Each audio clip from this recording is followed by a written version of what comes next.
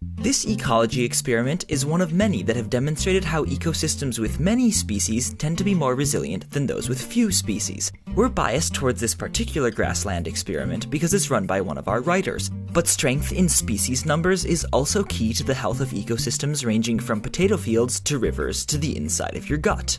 In contrast, when a single species is dominant, it can cause problems. Take the case of Clostridium difficile, a natural part of your gut community that causes a severe inflammation of the colon when it becomes too abundant. This bacteria, often referred to as C. diff, was named difficile because it was difficult to grow in a lab, not because it's difficult to treat. But it is. C. diff infections often develop because these bacteria persist better and regenerate faster than other gut bacteria following an antibiotic treatment for some unrelated health problem. Ironically, the standard treatment for C. diff is yet more antibiotics which sometimes works, but in many cases, the antibiotic resistance of C. diff means the playing field is simply cleared of its competitors and its population can grow even more vigorously.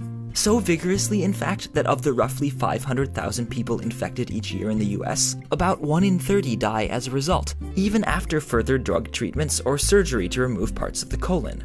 Out of desperation came the idea to entirely replenish the gut microbiome, not with probiotics, which only supply something like one living organism for every 10,000 bacterial cells already in your gut and just aren't powerful enough to make a difference, but rather with something more like the microbial equivalent of a blood transfusion. And just like a blood transfusion, don't try this at home.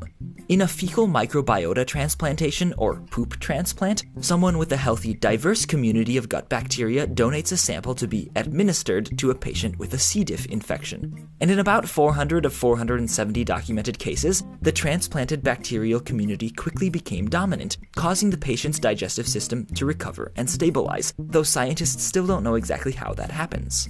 The human gut isn't the only ecosystem where this germ of an idea is taking hold, either. For example, transplanting soil from healthy fields to unhealthy ones helps knock back crop diseases and make soils more fertile. And transplanting water, snails, and duckweed from a pond to an aquarium helps maintain a well balanced fish tank. At the moment, microbial transplant therapy for disease control resides at the fringes of medicine, agriculture, and home fish tank husbandry. For medicine, this may in part be due to people being squeamish about their own and others' fecal matter, and insurance companies being squeamish about covering the cost of the procedure. But money also plays a broader role. New practices, even really good ones, have difficulty spreading without active promotion. And that promotion often comes from places like the pharmaceutical, agrochemical, and home aquarium industries. Industries which promote only those things from which they can make a profit, like drugs, fertilizers, aquarium supplements, and other heavily engineered chemical cocktails. But who will promote the simple solutions? We will. From your C. diff to recoup, choose someone else's poop.